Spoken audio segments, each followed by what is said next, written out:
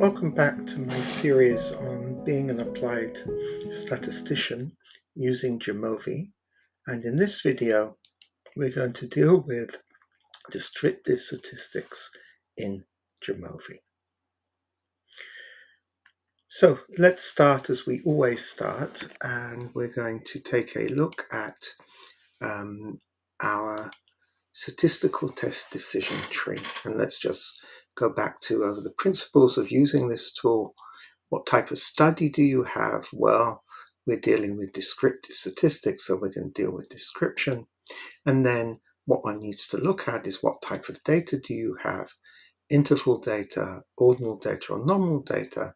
And you can see that for each of these, there is the appropriate test statistic or just statistic. So interval, we have a mean and standard deviation. Ordinal, we have a median and a semi-interquartile range. And nominal, we have mode and frequency. And with that, we are going to go over to Jamovi. Okay, so as you can see, I have opened up here uh, Jamovi and I'm on the start page. I've already opened up a, a data set, and this data set has three variables in it. Um, these three variables um, I have chosen because I want to uh, show you how to do descriptive statistics in Jamovi. I have a nominal variable, I have an ordinal variable, and I have an interval continuous variable. So let's just look first at what these variables actually are. So I have a variable called first language. I'm just going to quickly click on that. And this brings up some data on the variable if you click on the heading here. So this is first language. This is the description is the language spoken by a student at home. This is a nominal variable. And if we look over here, we can see what the levels of this are. Number one designates English, two Spanish, three Korean, and four Arabic. The second variable I have here is called anxiety level. Me open that up, and that's the student anxiety level. One equals high anxiety, five equals low anxiety, and this is a continuous interval um, variable. And the third variable I have here is test score. And this I'm going to look at as an ordinal score. This is test score in percentages that student grade on the test, and I have a range of percentages of student. I'm going to relate to this as ordinal data in the sense that I'm interested in who was the first student, the best student, the second best student, the third best student, and so on. Okay, what we're going to do now is we're going to go over um, the, the, the way we do descriptive statistics in uh, Jamovi. And of course, these statistics change according to the data type. So let's open up analyses over here. Let's go to exploration. Let's click on descriptives. Okay, so the first variable we're going to deal with is actually the interval variable, the continuous. This is anxiety level. So let me just move this over into the variables slide. Now I'm going to click down here on statistics. So what statistics do I want for an interval variable? Well, first off, for all of these, we want to know sample size and missing. We want to know how much missing data we have in the variable. This is not about describing this variable so much as just you know what it looks like in the data set. We do want a mean. We don't want a median. It's not useful for us at the moment. We do want a standard deviation. We do want a minimum and maximum. We just This is just to check that um, the scale we're using actually works. Sometimes when we download from SPSS, for example, you have a scale from 1 to 5, but it appears as 10 to 15. Uh, so we just want a, a quick check on the variable itself. We also want to know the normality of this variable. This is an important consideration. And then we do want to graph it out a bit. So we hit plots. And then what type of graph do we want? Well, we want a histogram and we want a density plot. So those are all the things we need. So basically the statistics we use for interval data are mean and standard deviation. It's good to know the minimum and maximum. We want to know the normality of the variable, the non normality of the variable. that has important predictive criteria to it. Um, we want a histogram and we want the density, and I'll talk about that in a second. If we move over into this window over here on the right, this is where we have the results, and you can already see what the results are. So we have 20 people in this data set. and there's no missing data. That's good for us. The mean is 2.5 and the standard uh, deviation is 1.24. So 2.5 is the level of anxiety that we have. 2.5 on a five point scale um, means it's closer to one, which is the high level. So, relatively high level of stress, I would say.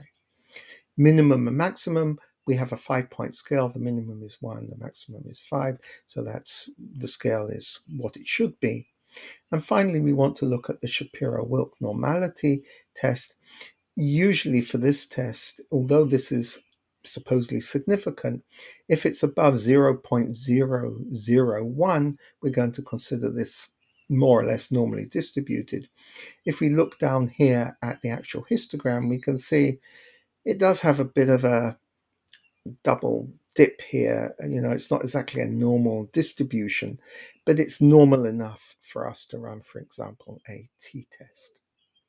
So that is our first uh, analysis, um, first way of doing a descriptive statistics. So now we're going to go to our next variable. So let me move this back over here. And the next variable we're going to deal with is the ordinal variable. So let me move this into here. Let me just clean up my results so that you can um, see clearly what I'm doing. Okay. So let me move uh, test score into the variable box and let's see what we want. Well, once again, we want the n and the missing that we always want. We don't want a mean. We do want a median. We don't want a standard deviation. We do want an interquartile range. There's no point in checking normality because we know it's not normally distributed. And when we look at the type of plot that is good for this particular uh, type of um, data, we want a what's called a box plot, and I'll show you what that is. There is one extra thing that is worthwhile doing. We don't always need it, but I think it's a good thing to do when you have ordinal data. And that's this percentile points. Cut points for four equal groups. This will tell us what the 25% mark is, the 50% mark is, and the 75% mark is. And that's a very useful thing to have. So let's go over here to the descriptives. Let's see what we've got. So once again, we got 20, there's no missing data. The median is 67. So if we think of, of test scores in this class, which is what the median, the median score is 67. Um, interquartile range is 31.3. The minimum score was 34, the maximum score was 89. That's on that particular scale. And here we have the percentile ranges. 49 was the 25th percentile, 50, 67 was the 50th percentile. That, of course, is the median, and 75 is the 80, and 80.3 is the 75% percentile. If you want to visually represent this, this is a box plot. This line in the middle is the median.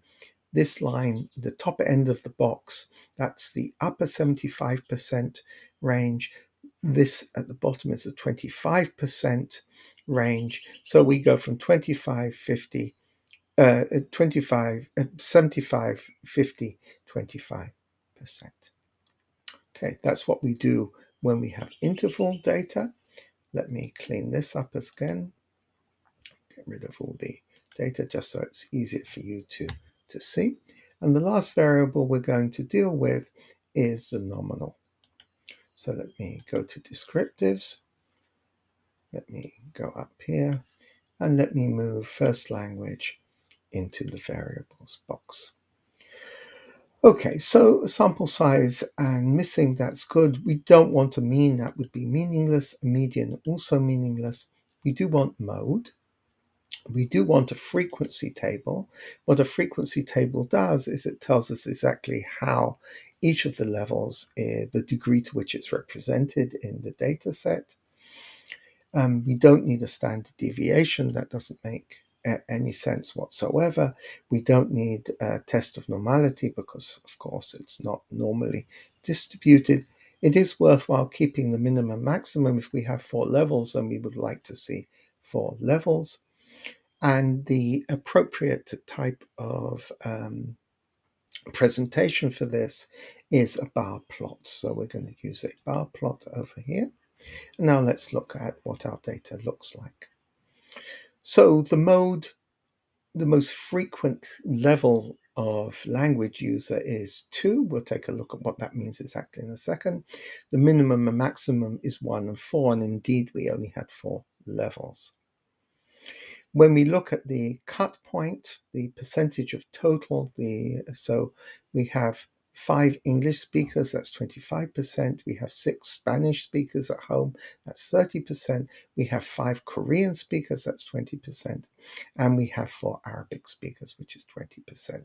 So this tells us, this frequency table is very useful, but it just tells us how each of these levels, each of these languages in this case, is represented in our sample. And if we look down here at our bar plot, we can see that we have four bars, English, Spanish, Korean, and Arabic. And here we have the frequency count for this bar. So with that, this is a short video on just how to use descriptive statistics in Jamovi. Um, um, and I think, I hope this is helpful for you when you move forward. Um, any study that you do, you always, always want to explore each of your individual variables, and the exploration tab on Jamovi is very easy and user friendly. And with that, I'll say goodbye for today, and I look forward to seeing you in our next video.